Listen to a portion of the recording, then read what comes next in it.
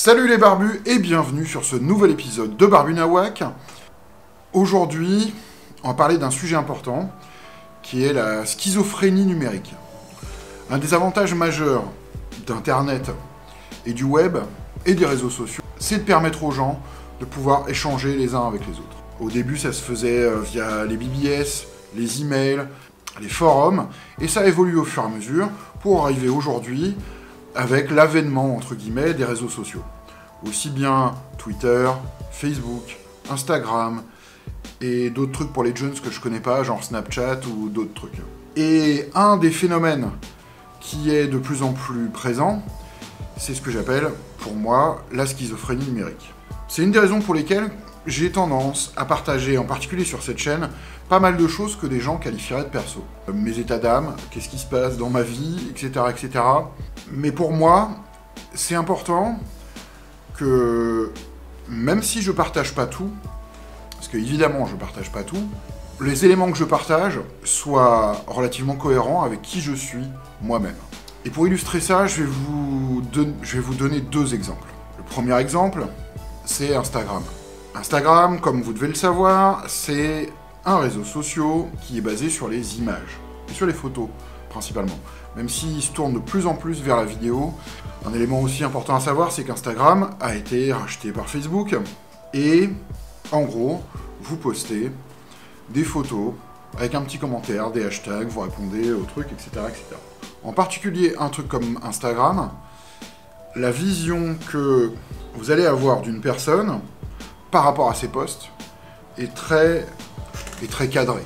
Et euh, peu importe quelle est son activité, vous aurez toujours une vision rétrécie par rapport à ce qu'est vraiment la personne et ce que fait vraiment la personne.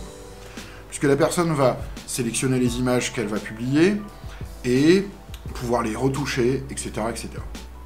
Et pour moi, c'est un bon, euh, c'est une bonne métaphore justement pour la schizophrénie numérique qui est j'ai ma personne réelle et j'ai ma personne sur les réseaux sociaux et sur le web qui sont deux personnes complètement différentes.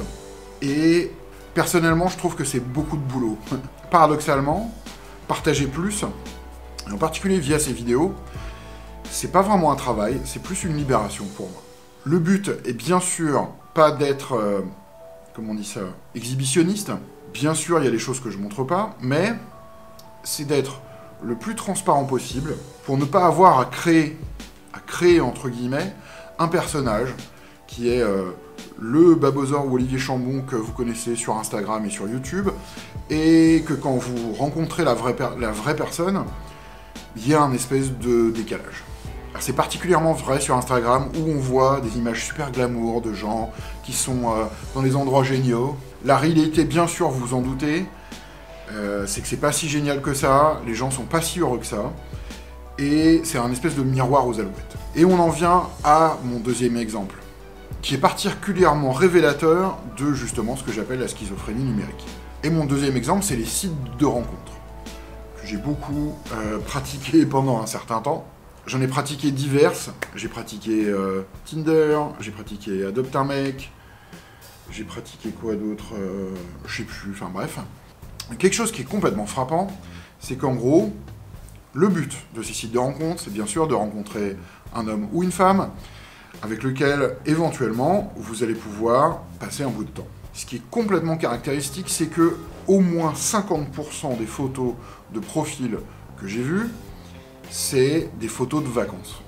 Donc, euh, la meuf en bikini sur la plage avec euh, les pieds en éventail euh, et une description qui peut être courte ou longue.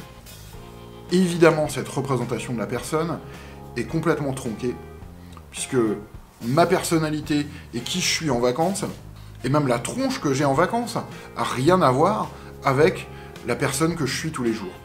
Et en gros, si vous allez dans un site de rencontre pour rencontrer quelqu'un, c'est évidemment pour potentiellement passer un bout de temps avec elle. Et je trouve que c'est particulièrement trompeur de mettre justement ce genre de photos, et en particulier les photos de vacances, euh, sur un profil.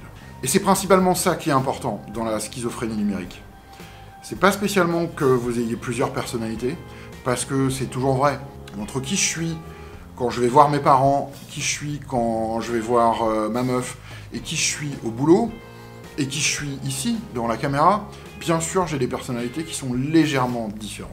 Mais j'ai pas à faire cette espèce de grand écart où je fais semblant d'être super bien et super cool et de faire des projets trop bien sur euh, Instagram, alors qu'en fait, je suis complètement misérable.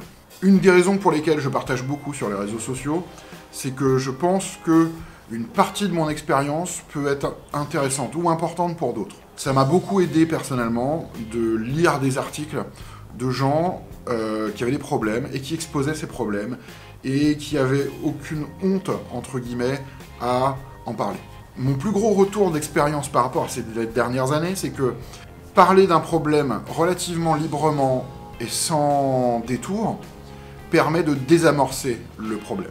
Je vais vous citer un exemple qui a rien à voir, mais imaginons que j'ai un micro-pénis. Voilà. Je peux le cacher et en avoir honte, ou je peux dire oui, j'ai un micro-pénis. Rien qu'en disant ça, déjà je désamorce le débat.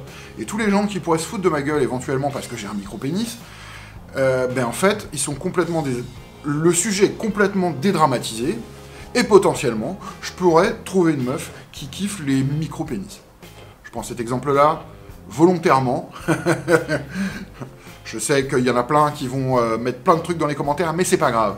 C'est juste un peu pour imager euh, mon, mon approche de ça. Évidemment, je mets pas tout en ligne. Il y a une, une barrière qui est relativement floue, mais qui où il y a des trucs perso que je parle pas ici. Mais de dire que je fail régulièrement, ça me pose aucun problème. Et c'est normal et ça fait partie de l'identité de la grotte. Euh, la grotte, c'est on fail, on s'améliore, on devient moins nul et on avance. Et c'est vrai que cette espèce de grand écart et de schizophrénie numérique entre le fantasme de qui vous êtes et de votre personnalité réelle, c'est beaucoup de boulot pour moi, c'est difficile et ça me fait chier. Donc, j'essaye d'être le plus, le plus transparent possible. J'essaye de partager une partie de mon expérience. On passe d'un mode très privé à un mode très très public. Et ça peut en effrayer, ça, peut en effrayer certains. Moi, ça m'effraie pas. Je vois tout ce que ce partage me donne, ne serait-ce que par les commentaires. Et allez, il y a 1% de, il y a 1% de cons, mais tout le reste, c'est tellement intéressant d'avoir les retours de tous les barbus sur plein de sujets, et aussi sur le fait que je me trompe. c'est tellement intéressant, et ça vaut tellement le coup, que euh, j'ai aucune envie de m'arrêter, et que j'ai plus, justement, j'ai même envie de partager encore plus sur plein d'autres choses. Voilà un petit peu euh, mon avis sur la schizophrénie numérique, et pourquoi je partage beaucoup, et j'essaye d'être le plus transparent possible dans ce partage pour éviter justement cette espèce de grand écart un peu malsain entre le fantasme de votre vie et la réalité. Bien sûr, comme d'habitude, tu as des questions, des insultes, tu sais comment faire. Tu vas dans la description ici, il y a tous les liens pour me joindre. Tu peux évidemment laisser un commentaire et bien sûr, tu t'abonnes. Tu peux aussi, comme Jeff Boone, aller cliquer dans le lien, si il est ici, regarde. Euh, dans la description, le lien Utip allez regarder une petite pub, ce qui nous permettra de nous faire un petit peu de pognon et de nous acheter du matos pour proposer des épisodes encore plus géniaux. Voilà, c'est tout pour cet épisode spécial schizophrénie numérique. J'espère qu'il vous aura plu. J'attends bien sûr vos commentaires. Qu'est-ce que vous pensez de la schizophrénie numérique? En attendant le prochain, faites des trucs, inspirez-vous et que la barbecue soit avec vous.